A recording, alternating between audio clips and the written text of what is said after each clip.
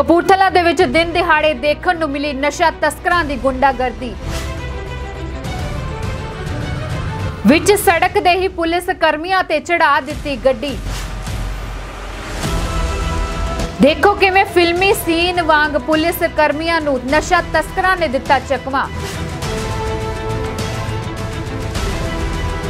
ਕਪੂਰਥਲਾ ਜ਼ਿਲ੍ਹੇ ਦੀ ਤਹਿਸੀਲ ਸੁਲਤਾਨਪੁਰ ਲੋਧੀ ਦੇ ਬਾਹਰ ਇੱਕ ਹਾਈ ਵੋਲਟੇਜ ਡਰਾਮਾ ਦੇਖਣ ਨੂੰ ਮਿਲਿਆ। ਦੱਸਦੇ ਕਿ ਪੁਲਿਸ ਦੇ ਵਿੱਚ ਅਤੇ ਨਸ਼ਾ ਤਸਕਰਾਂ ਦੇ ਵਿੱਚ ਝੜਪ ਹੁੰਦੀ ਹੋਈ ਦਿਖਾਈ ਦੇ ਰਹੀ ਹੈ, ਜਿਸ ਦੀ ਇੱਕ ਸੀਸੀਟੀਵੀ ਵੀਡੀਓ ਸੋਸ਼ਲ ਮੀਡੀਆ ਤੇ ਲਗਾਤਾਰ ਵਾਇਰਲ ਹੋ ਰਹੀ ਹੈ। ਜਾਣਕਾਰੀ ਦੇ ਮੁਤਾਬਿਕ ਇਹ ਨਸ਼ਾ ਤਸਕਰ ਭੱਜਣ ਦੀ ਫਿਰਾਕ ਦੇ ਵਿੱਚ ਸਨ, ਪਰ ਉਸੇ ਦੌਰਾਨ ਪੁਲਿਸ ਦੇ ਵੱਲੋਂ ਉਹਨਾਂ ਨੂੰ ਕਾਬੂ ਕਰਨ ਦੀ ਕੋਸ਼ਿਸ਼ ਕੀਤੀ ਜਾਂਦੀ ਹੈ।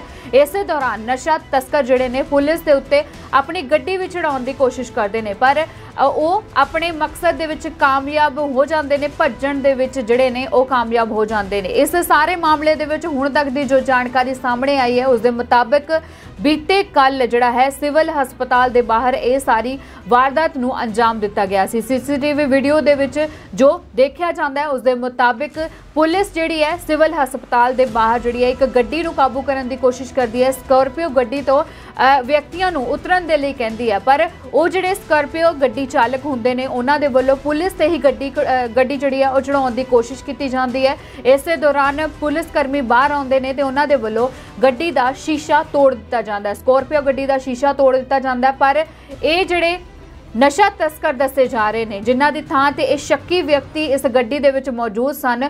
ਪੁਲਿਸ ਨੂੰ ਚੱਕਮਾ ਦੇ ਕੇ ਇੱਥੋਂ ਫਰਾਰ ਹੋ ਜਾਂਦੇ ਨੇ। ਇਸ ਸਾਰੀ ਘਟਨਾ ਤੇ ਹੁਣ ਤੱਕ ਜੋ ਪੁਲਿਸ ਦੇ ਵੱਲੋਂ ਬਿਆਨ ਸਾਹਮਣੇ ਆਇਆ, ਉਸ ਦੇ ਮੁਤਾਬਿਕ ਉਹਨਾਂ ਨੂੰ ਇੱਕ ਗੁਪਤ ਜਾਣਕਾਰੀ ਮਿਲੀ ਸੀ, ਜਿਸ ਦੇ ਮੁਤਾਬਿਕ ਸੁਲਤਾਨਪੁਰ ਲੋਧੀ ਦੇ ਸਿਵਲ ਹਸਪਤਾਲ ਦੇ ਨੇੜੋਂ ਇਹ ਜਿਹੜੇ ਕਾਫੀ ਸਮੇਂ ਤੋਂ ਵਾਂਟਡ ਦੱਸੇ ਜਾ ਰਹੇ ਸਨ, ਨਸ਼ਾ ਤਸਕਰ, ਉਹ ਇੱਥੋਂ ਲੰਘ ਰਹੇ ਸਨ। ਉਹਨਾਂ ਦੇ ਮੁਤਾਬਿਕ ਸਕਾਰਪੀਓ ਗੱਡੀ ਦੇ ਵਿੱਚ ਹੀ ਉਹਨਾਂ ਨੇ ਇੱਥੋਂ ਲੰਘਣਾ ਸੀ। ਪਰ ਜਦੋਂ ਕੱਲ ਬੀਤੇ ਕੱਲ ਉਹਨਾਂ ਦੇ ਵੱਲੋਂ ਸਿਵਲ ਹਸਪਤਾਲ ਦੇ ਬਾਹਰ ਇਸ ਸ਼ੱਕੀ ਵਿਅਕਤੀਆਂ ਦੀ ਗੱਡੀ ਨੂੰ ਕਾਬੂ ਕਰਨ ਦੀ ਕੋਸ਼ਿਸ਼ ਕੀਤੀ ਗਈ, ਰੋਕਣ ਦੀ ਕੋਸ਼ਿਸ਼ ਕੀਤੀ ਗਈ, ਪਰ ਇਸੇ ਦੌਰਾਨ ਇਸ ਸਕਾਰਪੀਓ ਗੱਡੀ ਦੇ ਚਾਲਕਾਂ ਦੇ ਵੱਲੋਂ ਆਪਣੀ ਗੱਡੀ ਜਿਹੜੀ ਹੈ ਪੁਲਿਸ ਦੇ ਉੱਤੇ ਹੀ ਚੜਾ ਦਿੱਤੀ ਜਾਂਦੀ ਹੈ। ਪਰ ਇਸੇ ਦੌਰਾਨ ਪੁਲਿਸ ਕਰਮੀ ਬਾਹਰ ਆ ਕੇ ਜਿਹੜੇ ਨੇ ਉਹਨਾਂ ਦੀ ਸਕਾਰਪੀਓ ਗੱਡੀ ਦਾ ਸ਼ੀਸ਼ਾ ਤੋੜ ਦਿੰਦੇ ਨੇ ਪਰ ਇਹ ਜਿਹੜੇ ਤਸਕਰ ਦੱਸੇ ਜਾ ਰਹੇ ਨੇ, ਇਹ ਭੱਜਣ ਦੇ ਵਿੱਚ ਕਾਮਯਾਬ ਹੋ ਜਾਂਦੇ ਨੇ, ਪੁਲਿਸ ਨੂੰ ਚਕਮਾ ਦੇਣ ਦੇ ਵਿੱਚ ਕਾਮਯਾਬ ਹੋ ਜਾਂਦੇ ਨੇ। ਹੁਣ ਤੱਕ ਪੁਲਿਸ ਨੇ ਕਿਹਾ ਕਿ ਕਾਫੀ ਸਮੇਂ ਤੋਂ ਜੋ ਨਸ਼ਾ ਤਸਕਰ ਵਾਂਟਡ ਦੱਸੇ ਜਾ ਰਹੇ ਸਨ, ਇਹ ਉਹਨਾਂ ਦੀ ਥਾਂ ਤੇ ਕੁਝ ਸ਼ੱਕੀ ਵਿਅਕਤੀ ਸਨ।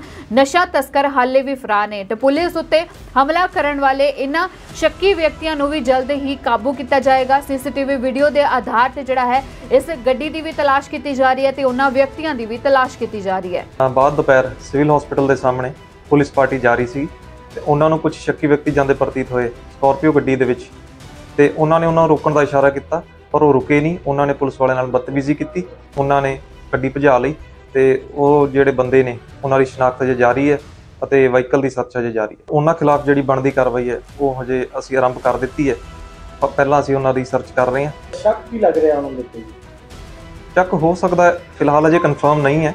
ਕਿ ਇਹ ਪਹਿਲਾਂ ਵੀ ਜਿਹੜੇ ਨਸ਼ੇ ਨਾਲ ਰਿਲੇਟਡ ਜੇ ਤਸਕਰ ਹੈਗੇ ਆ ਇਹ ਕੀ ਤੁਸੀਂ ਹਜੇ ਤੱਕ ਆਪਣੇ ਦਿਨ ਦੀ ਸ਼ੁਰੂਆਤ ਕੈਮੀਕਲ ਨਾਲ ਬਣੀ ਹੋਈ ਚਾਹ ਤੋਂ ਕਰ ਰਹੇ ਹੋ ਤੇ ਸਾਰਾ ਦਿਨ ਐਸਿਡਿਕ ਫੀਲ ਕਰ ਰਹੇ ਹੋ ਨਾ ਨਾ ਨਾ ਨਾ ਚਾਹ ਨਹੀਂ ਛੱਡਣੀ ਬਸ ਪਲੈਨਟ ਆਯੁਰਵੇਦਾ ਦੀ ਅਰਜੁਨ ਟੀ ਪੀਣੀ ਹੈ ਇਹ ਤੁਹਾਡੀ ਸਿਹਤ ਦੀ ਹੈ बेस्ट फ्रेंड अब घर बैठे ऑनलाइन कंसल्टेशंस करें टॉप एमडी आयुर्वेदा स्पेशलिस्ट के साथ इंडिया का बेस्ट ऑनलाइन आयुर्वेदिक क्लिनिक और पाएं सारी आयुर्वेदिक मेडिसिन की home delivery worldwide problem कोई भी हो सोल्यूशन सिर्फ एक www.planetayurveda.com